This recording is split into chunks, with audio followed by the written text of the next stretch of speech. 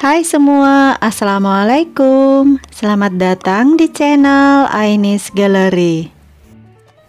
Di video saya kali ini, saya akan membuat bingka ABC Kue bingka ABC ini sebenarnya mirip banget dengan kue bolu ABC Tekstur bolunya sangat lembut, pori-porinya juga sangat kecil, rasanya pun juga sangat enak.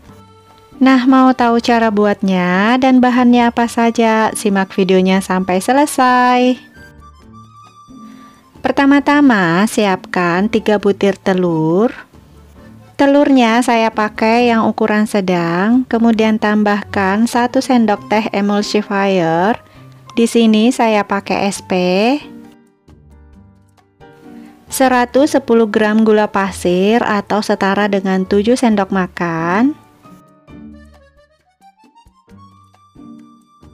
Seperdua sendok teh vanila ekstrak, boleh pakai vanili bubuk Kemudian kita mixer dengan kecepatan paling tinggi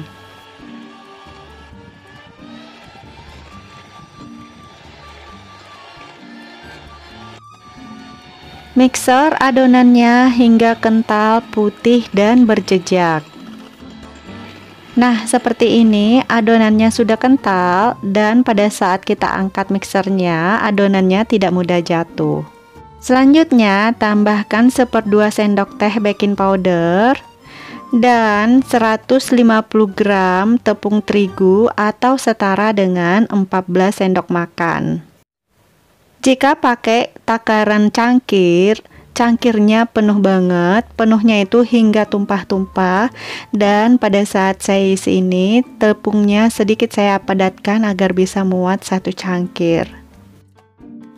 Aduk hingga tepungnya tercampur dengan adonan, kemudian tambahkan 60 ml sirup ABC Sirupnya saya masukkan secara bertahap, kemudian saya aduk.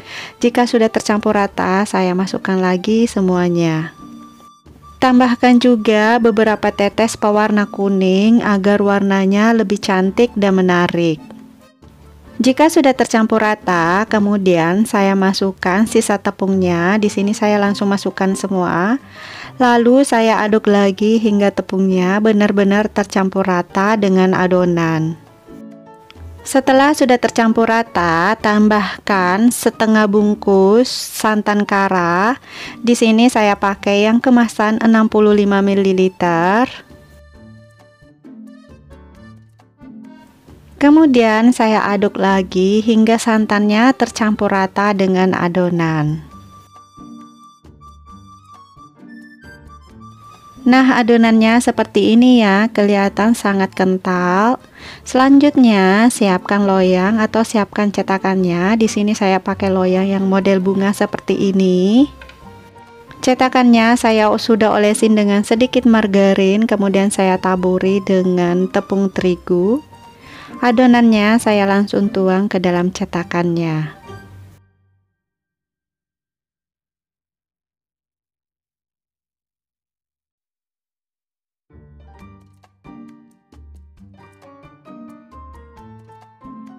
Setelah loyang sudah diisi adonan, kita hentakkan beberapa kali agar teksturnya lebih padat. Agar penampilannya lebih cantik, saya taburi dengan topping. Di sini toppingnya saya pakai sukade. Toppingnya bisa disesuaikan dengan selera, tidak mesti pakai seperti ini. Boleh diganti dengan keju, seres, ataupun yang lainnya. Selanjutnya, kuenya siap untuk kita panggang. Nah, saya panggang menggunakan oven tangkring. Terlebih dahulu, ovennya saya sudah panaskan. Kuenya kita panggang di rak tengah. Kita oven menggunakan api sedang selama kira-kira 40 menit atau hingga matang. Jadi pada saat proses pemanggangan jangan terlalu berpatokan dengan waktu, lebih baik kuenya sering dicek aja. Nah, di sini saya akan melakukan tes tusuk. Jika sudah tidak ada yang melengket, itu pertanda bolunya sudah matang.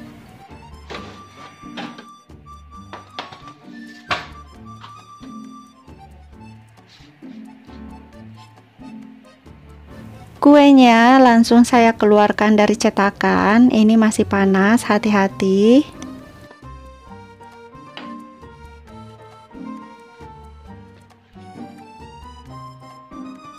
Setelah kuenya kita keluarkan dari cetakan, segera kita balik karena tekstur permukaan kuenya sedikit basah. Kalau kelamaan di bagian bawah, takutnya akan lengket. Nah, hasilnya seperti ini, kelihatan sangat cantik dan menarik banget kan?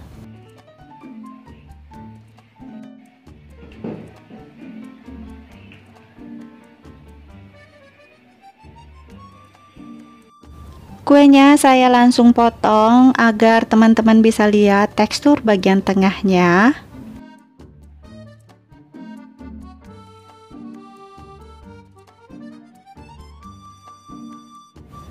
Nah, tekstur kuenya seperti ini, kelihatan sangat lembut banget kan? Selain warnanya yang sangat cantik, rasa kue ini sangat enak banget karena ada rasa santan, juga ada rasa sirup orange-nya.